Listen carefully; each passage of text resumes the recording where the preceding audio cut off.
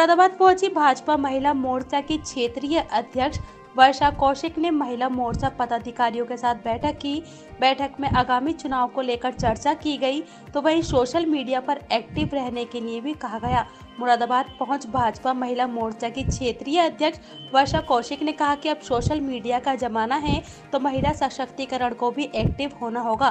साथ ही कहा कि आगामी कार्यक्रमों को लेकर भी संगठन की महिला कार्यकर्तियों से विचार विमर्श किया गया है। इस दौरान कार्यक्रम का शुभारंभ दीप प्रज्वलित करके किया गया। इस दौरान क्षेत्रीय अध्यक्ष वर्षा कौशिक बैठक की मुख्य अतिथि रही।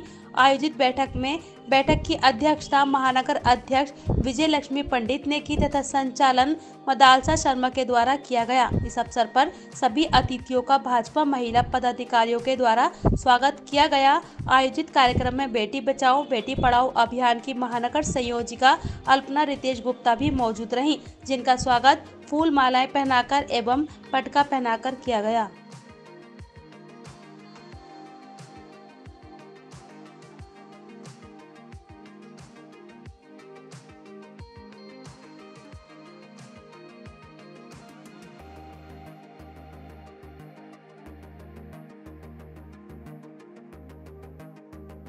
इन सब विषयों को लेकर चर्चा करने की एक अनौपचारिक बैठक है। जिसमें मुख्य रूप से तो हमारी अध्यक्षा जी के साथ में और इनकी टीम के साथ साथ में नीचे मंडल स्तर तक की परिचय है और एक प्रवास के दौरान एक इंट्रैक्शन हो जाए क्योंकि काम के नाते हम हमेशा मिलते हैं। तो एक ये अनौपचारिक रूप से आज मेरा प्रवास। हाँ इसके अलावा किस तरह की उम्मीदें रहती हैं जो कार्यकर्ता हैं? क्योंकि आगामी चुनाव भी है और महिलाओं की एक अहम भूमिका रहती है इस चुनाव में। क्या कहना चाहेंगे उन महिलाओं के लिए?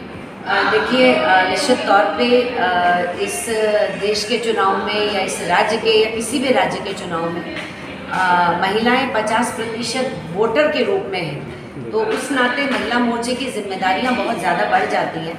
तो आने वाले चुनाव में या पिछले चुनाव में महिलाओं का जो योगदान रहा है चाहे वो वोटर्स के रूप में रहा हो या वोट डलवाने के लिए जो भाजपा की कार्यकर्ता हैं, चाहे वो महिला मोर्चे की हों, चाहे वो अन्य मेन बॉडी या अन्य हमारे प्रकोष्ठ प्रकल्प विभागों में काम करने वाली महिलाएँ हों, निश्चित तौर पर इन महिलाओं ने जिस मेहनत के साथ में योगी जी को पुनर्स्थापित करने के लिए काम किया है, उसके लिए माननीय प्रधानमंत्री जी और हमारा राष्ट्रीय नेतृत्व की तरफ़ से प्रदेश को और प्रदेश के माध्यम से माध्यम से क्षेत्र को और जिलों को बहुत बधाई मिली है।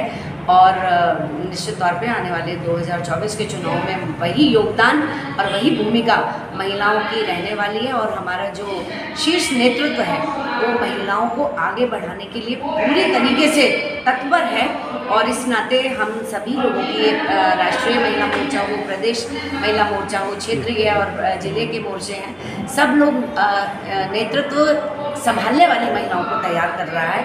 इन प्रवासों के माध्यम से हम उस पर भी काम कर रहे हैं।